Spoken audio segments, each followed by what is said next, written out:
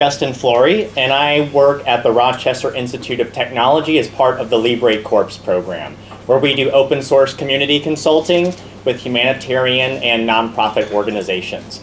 I'm here on behalf of my colleague, who unfortunately could not be here for the presentation, Cecilia Chapiro, to talk a little bit about emerging tech open source scoring system, or some of the work that we do at the UNICEF Office of Innovation.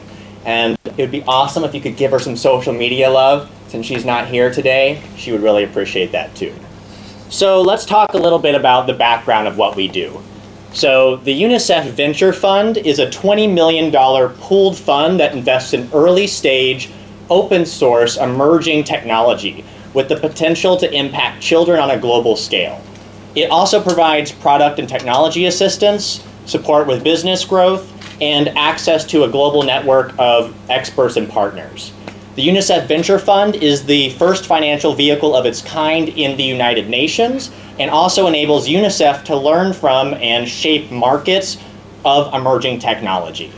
So the UNICEF Venture Fund is also one that exists at the intersection of $100 billion business markets and over 1 billion people's needs. So a little bit about what the Venture Fund does in action. It was founded in 2016 to make equity-free investments in open source technology startups in developing and emerging economies that have potential to solve some of the most pressing challenges that are faced in those, in those countries facing children. It also invests in UNICEF's country offices that test and develop emerging technology solutions for children. And the fund allows UNICEF to take small risks within particular technology portfolios and ensures that even if many of the investments fail, the portfolio is still a success. Uh, and the venture fund invests in solutions that benefit from a small 50K to 100K uh, seed financial investment to significantly, significantly impact their ability to move to the next level of development. To give an idea of the context that we work in, we have over 76 investments across 39 countries that mostly span the global south as we know it. So a little bit about where this all ties into the, the metrics conversation. So because the Innovation Fund is a seed investor, we take some risks on a number of companies and we measure how successful they are with a number of metrics, something you are all probably familiar with.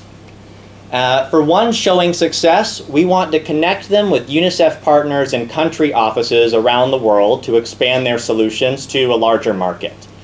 To do this, the UNICEF Office of Innovation uh, uses a set of metrics to help us understand successful investments in open source solutions, specifically in emerging technology.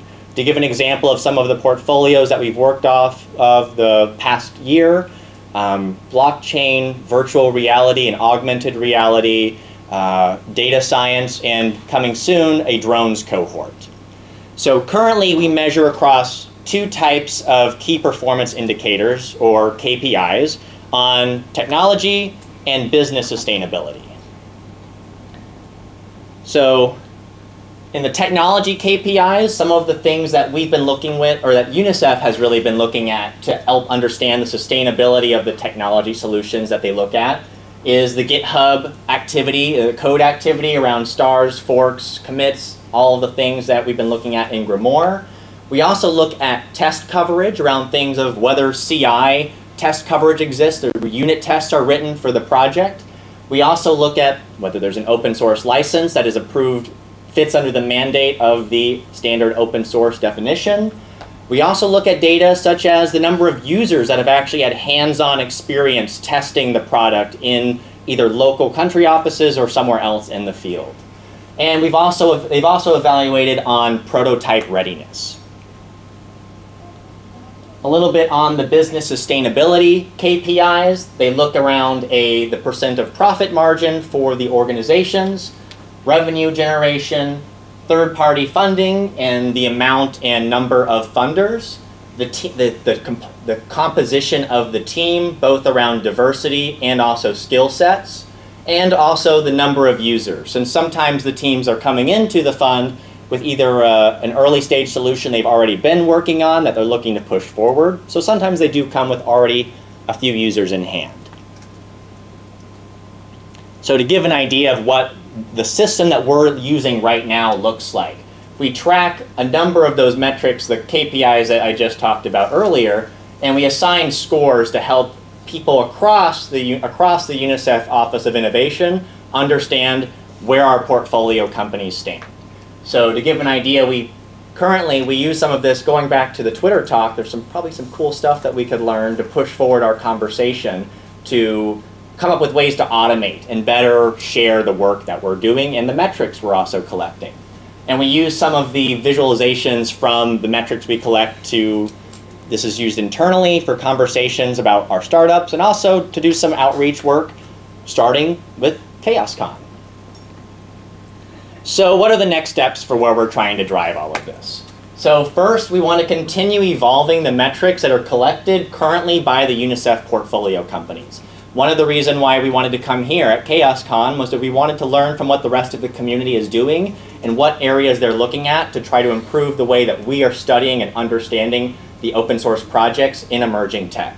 Additionally, we also want to keep testing the relevance of the KPIs we're collecting already by looking at a wider set of projects beyond what we're just looking at in the UNICEF Innovation Fund. And lastly, we want to automate the collection process of this, hopefully with tools like Grimoire. And this is one area that we're very interested in looking to collaborate further with people outside of the UN and outside of UNICEF. This is something that has been worked on in kind of a little bit of an isolated bubble for a long time.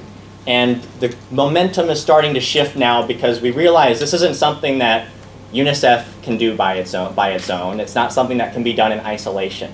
So we're looking for opportunities to learn from others and also contribute some of our knowledge and experience with what we're working on with the wider community. That was a very high-level recap of the UNICEF Innovation Fund, but if you have any questions or comments, I'd love to take them. I'd like to, I'd love to take them. Thank you.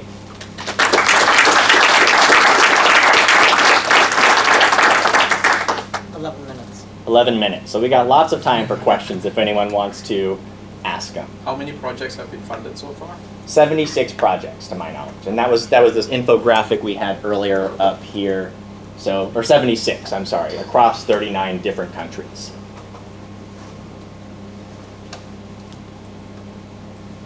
What's a typical type of projects you guys have funded? So UNICEF works on different areas. This is part of the digital public's good strategy that UNICEF is behind. I'm not super well versed on this, so I only work as an external consultant to UNICEF. But the projects they fund around specific sets of portfolios. Like I mentioned earlier, some of those have been companies that are working on new blockchain solutions or working with virtual reality and augmented reality, data science, and the upcoming one with drones. And some of that, like for example, with uh, augmented virtual reality, that's also been a great opportunity for us to work with organizations that are doing educational content. So that's where we've been able to introduce things like Creative Commons licenses for you know, the games that they're working on. So the content that's being shared is also a freely licensed resource as well. Yeah. Um, hi, on the uh, subject of automation, I was wondering how much of your metrics are currently automated and how many have been identified as either automatable or, or non-automatable? So the question was how many of our metrics that we have are currently automated and or have been evaluated to be automatable. I'll be honest, a lot of what we're doing is currently done through a mixture of Excel spreadsheets and other black hat wizardry. But this is one of the things that by coming here, we really want to start looking more widely at ways that we can be smarter with the way that we spend our time on this and not start from the ground, from ground zero. The ground up. Ground up. ground zero sounds more dangerous. Any other questions, comments, concerns? In the back. Uh, I wonder how you make the connection between the two sets. The at two the sets? End, at the very end, you need to analyze it as a whole. And I mean, it's not it's not different from what it happens to us in, inside companies, right? Uh, you have the technology or the community health metrics, then you have the business one, and that connection is the real holy grail thing. We, we, we talked, we heard before about page views. I mean, depending on what kind of services or products you have, you can find strategies to make that feedback loop very simple, but depending on the products you sell, that's very, very hard.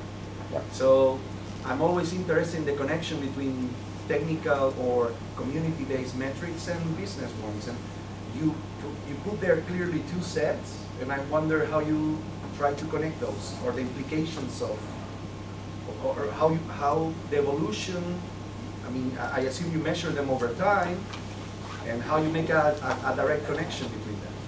So the question was looking at the two sets of metrics, both technology and business sustainability, how do we connect those two together for how we evaluate the success of our portfolio companies?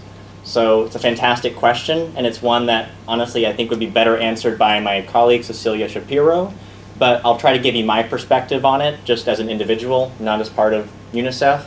I think that a large part of this comes down to communication and messaging in terms of how you deliver these messages to internal and external stakeholders. Like we heard a little bit in the previous talk about having your internal and external metrics. I think it's not just about numbers exclusively, but also the way that we communicate that value to our organization. So it's not exactly, probably not the answer you were looking for, but I think it's something that's actually not as much of a quantitative approach as it is a qualitative approach and how, how we talk about those metrics and how we look at sharing them with others. Any other questions? Yeah. Have there been any surprising stories or any success stories around how you use the metrics to help those projects?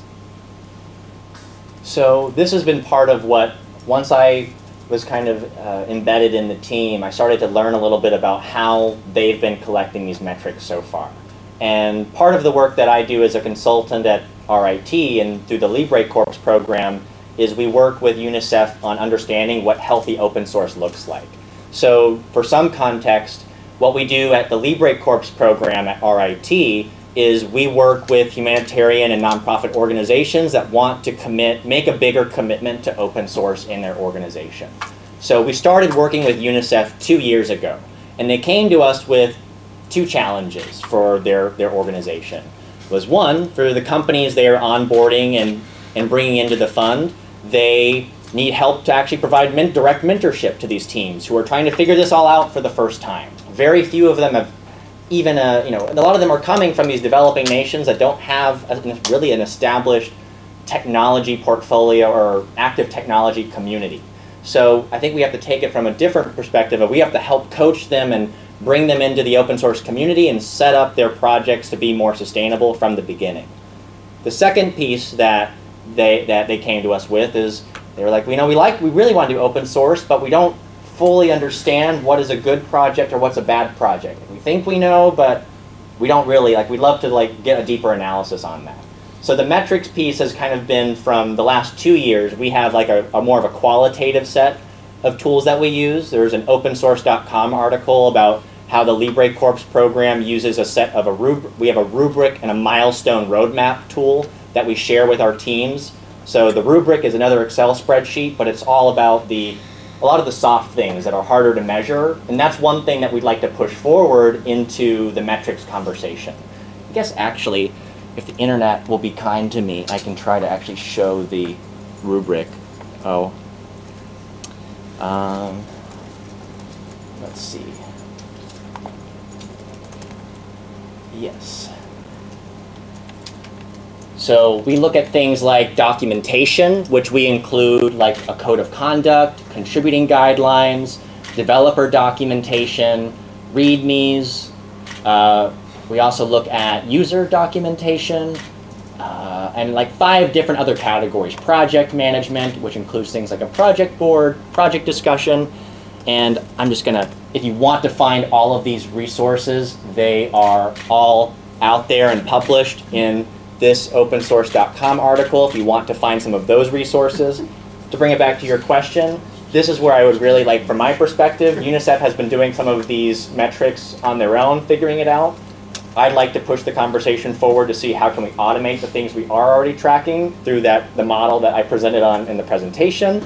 But I'd also like to see how can we move some of these things that we're evaluating on that are really hard to measure. Like some of the community ones at the bottom, there's a whole section on outreach and how you engage with your community in a healthy, sustainable way. So I don't have a clear answer, maybe a story to tell, but I have ideas of where I want to start telling the story. Perfect, thank you. How are we on time? We are, you still have three minutes. Last questions? Three minutes? All right. Thank, Thank you you. so much.